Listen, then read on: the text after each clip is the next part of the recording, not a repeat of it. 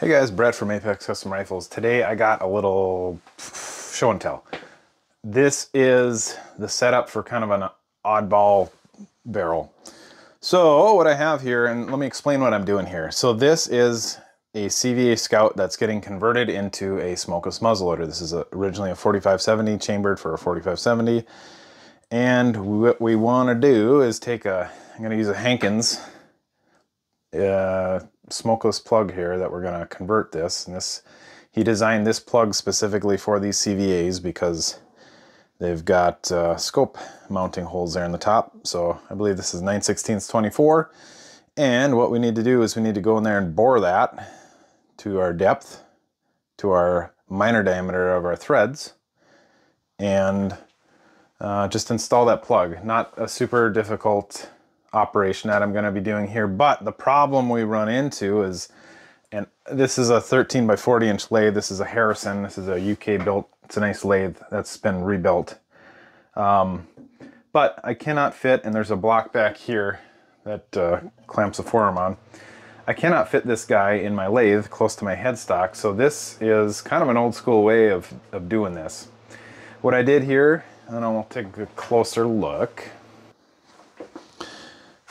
this is an aluminum bushing that I milled, and this barrel is exactly one inch out on the breech end here. So this aluminum bushing I milled, it's about a half inch thick, and it's a split bushing. And if you can see, you probably can't see, but there's two screws holding this thing together. And when I split this thing, I remachined the center of it, and there was only about six thousandths gap in between these. So it's basically just enough to crush down on here, and then when it spins, there's no jump on any of the rollers and, and the, the seam there is gonna hit on one roller at a time. It's never gonna hit two rollers at the same time because we're working on three rollers. But what I'm able to do with this is support this breech end to be able to work on the inside of that thing. I originally had this set up with like a Viper uh, action fixture that you put like in a four jaw and I just didn't feel, I had that thing sticking out about a foot from my spindle and I just didn't feel like that was strong enough. So we got this guy now and I had three thousandths run out in that Viper fixture because this thing was, it's about six, seven inches out from where the fixture would have been. So it's really hard to get, it's hard, harder to center this up in that fixture when it's that far out because you move one and it moves both of them. Whereas you put a barrel in there, you can clamp here and clamp here and you move one and it moves this and you move this one and it moves this. So it's a little tougher to do. So I zeroed that thing out best as I could and I had it within about two thousandths and I spent so much time on it, I gave up. And after I did this, so this is kind of an old school way of chambering barrels in general, this is down to less than one thousandths run out in the front and the back. The back's actually a little better and the front is uh, not quite a thousandths, but it's eight tenths. Uh, this is a couple tenths less. But for this project, with these breech plugs, within a thousandths of an inch in the back end here, that's gonna be good enough. This is not chambering dimensions. We're not trying to get absolute accuracy with this uh, breech plug being in there. I mean, we want it to be as accurate as we can, if we're a thousandth or under with this breech plug, that's going to be plenty accurate enough because that's going to basically put our flash hole in the very center there and that's what we want.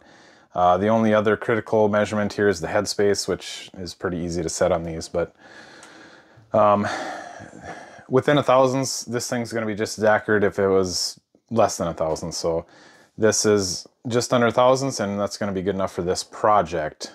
It's not going to shoot any I bet you if it was five or ten thousands, it probably wouldn't shoot any different. But we want the back end of that plug to be parallel too with the back of this, because then our our little uh, module there will sit flush and flat on our action. And then on the muzzle end, uh, this is a Buck True Adjust Chuck. So it is axially adjustable and I got it hold in a copper, copper uh, wire there. But this will be more than enough to hold that in place. And if I need if, if I needed to move it at all, I could adjust this and move that, but we're close enough here to where I didn't need to move that at all. Well, I suppose I better get uh, turning on this thing. So I'll uh, tell you a little bit about what I'm gonna do here, and I'm not gonna show it on this video, but I'm gonna go in there with a chucking reamer. It's gonna get reamed out to my depth, and then I'm gonna go in there with a boring bar and bore it out to my final minor diameter of my tap. And then my tap I have is one of these nice expensive little, I don't know, this one's relatively cheap actually. This one was only a 50 bucks, I think. Uh, my other one was 80, I think, for the other size plugs, but um, they don't make as many in this 9 16 24 tap as they do. I think the 5 8, 5 8 18 is the other for like a bolt action rifle. This guy was, I think, 80 bucks for that guy. That's always fun. Don't want to snap those. But I was looking for a, a, spiral flute tap and they didn't make one, or I couldn't find one for less than 200 bucks. So um, do minor diameter to depth. You drill or you tap it with a tap and then you go in here and you cut your shoulder and that sets your depth. It's pretty simple relatively simple. simple for me when I think about it, but pretty simple procedure to put these plugs in. You just want to make sure that your threads are the correct size, you don't overbore your hole, and your headspace is correct. So I just wanted to show that to you guys, and I'm going to get rolling on this project here in a minute, but um, just kind of a, a simple way to set something like this up in your lathe uh, with, you know, these breech blocked uh, actions, encores, stuff like that. These CVAs.